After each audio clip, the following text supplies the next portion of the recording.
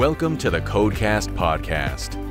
Real world insights for your daily medical coding and billing processes.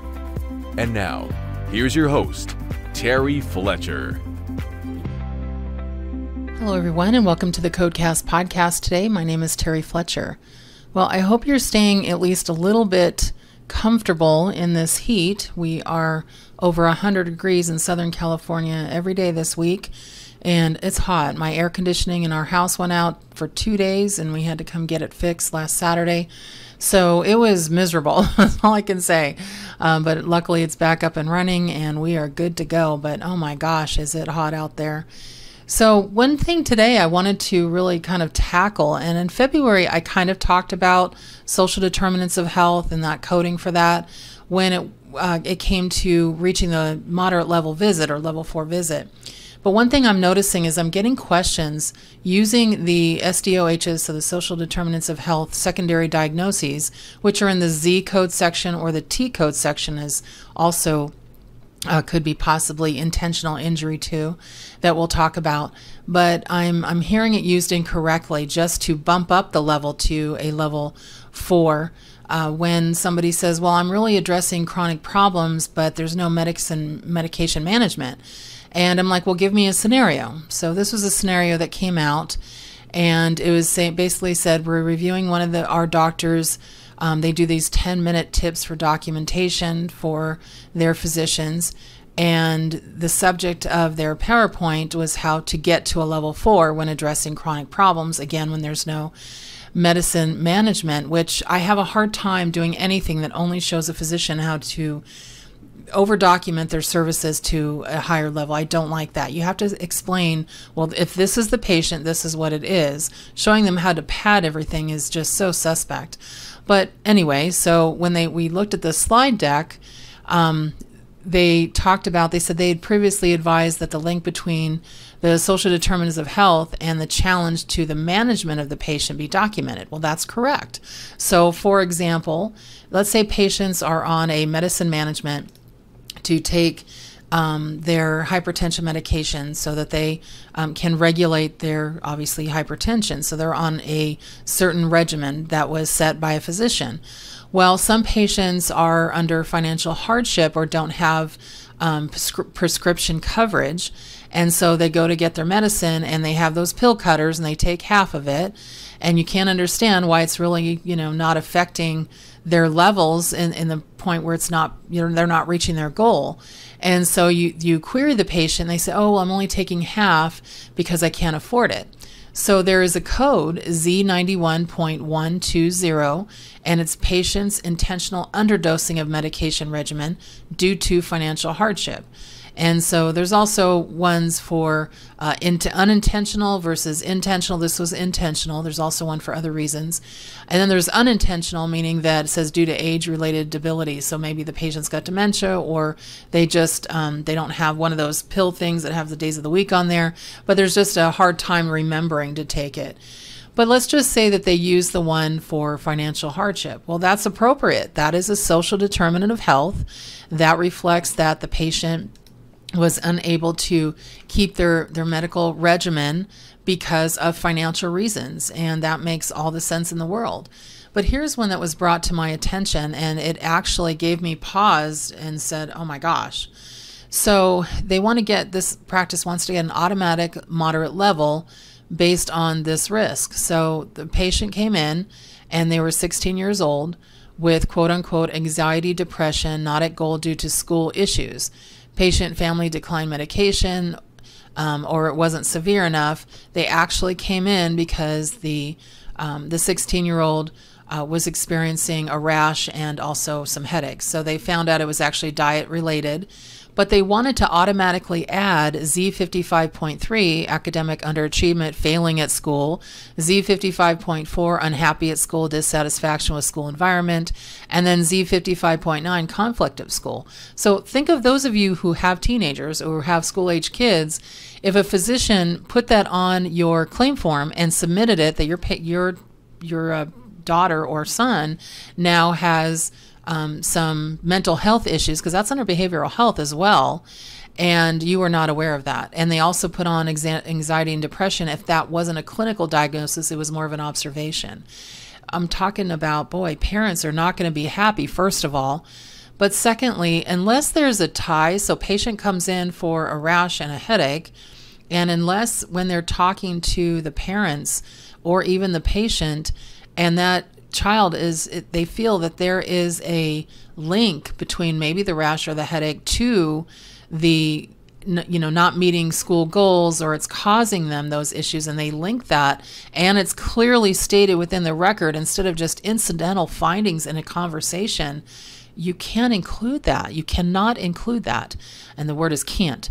You have to be very very careful about adding SDOHs just because it tends to pull that visit potentially up to a level moderate now, remember, when we're talking about diagnoses, it says diagnosis or treatment that's significantly limited by social determinants of health. So, what did the patient, what were they not able to get because of the SDOH? Just because you have underachievement in school or you're unhappy, does that mean you couldn't get medical treatment? Does that mean there was something there that again limited you to your to your treatment or being able to do well? Um, you know, you have patients that are another social determinant of health, homelessness.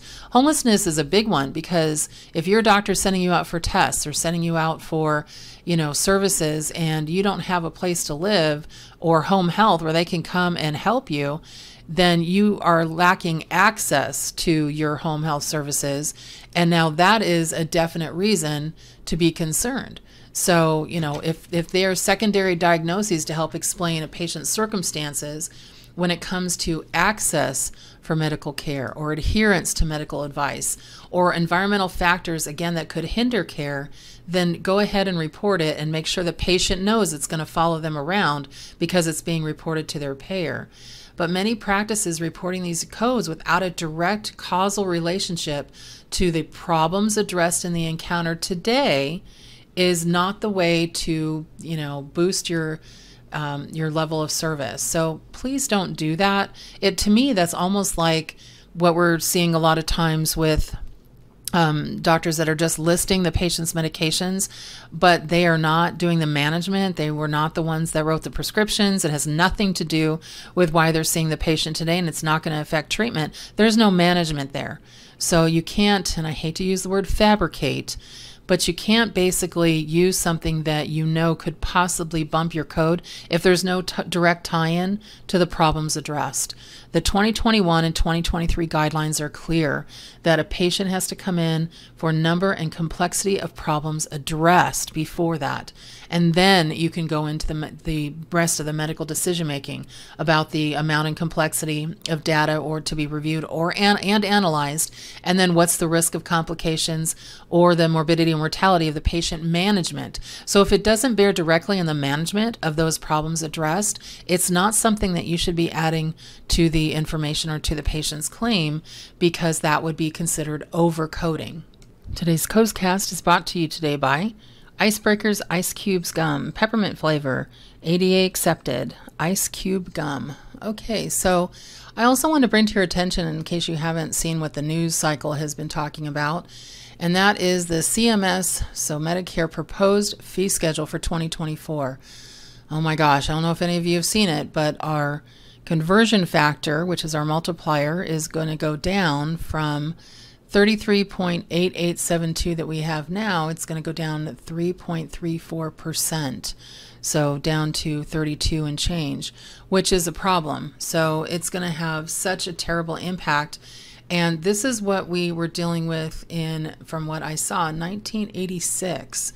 And we know what the cost of things are now. So let's you know, you've got to fight. You've got to make sure that you comment on this period. I know that the AMA has been very loud about this. The American Medical Group Association have been also talking about this proposed pay cut.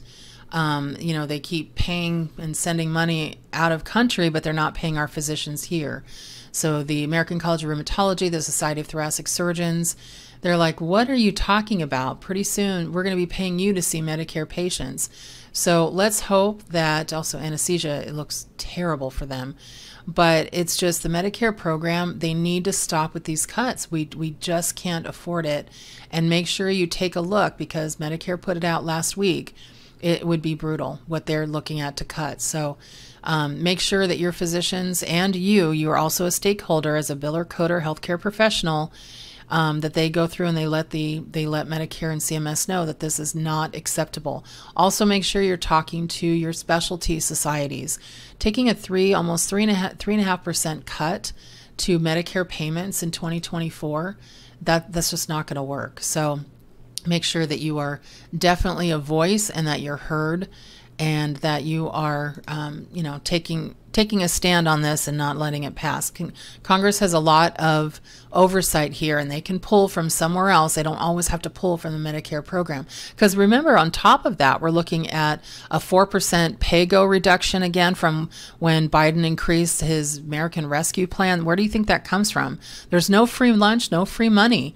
Anytime there's money given to everybody, anytime they put in some kind of package, it comes from programs who constantly have money being paid in and they're pulling from Medicare. Plus, we're still dealing with the sequestration from the 2013 Obama administration when they, you know, cut uh, or raised the debt ceiling and they had to do cuts. So, on top of that, this is just, oh, it's just, just terrible. So, make sure that you are. Um, talking to your congressman, talking to your associations, and that um, you're also a voice in the fight against this reduction. So I wish it was more positive today, but I wanted to make sure you had the headlines, that you also had some information on those social determinants of health. Next week, I'm going to be talking about pre op visits. I think there's some confusion out there when pre ops can be coded, when they can't, and what they're specifically for. I'm seeing a lot of TPE and UPIC audits on pre ops, and I'm also seeing a lot of practices, really a lot of bariatric practices and general surgery, where they're doing um, weight reduction um, surgery and there's a time period you know patient goes through certain repertoire to lose weight and then they come back in and you know on and on and then they have this kind of like this uh, education session and they call it a pre-op. Well the patient already is scheduled for surgery and they were already cleared for surgery.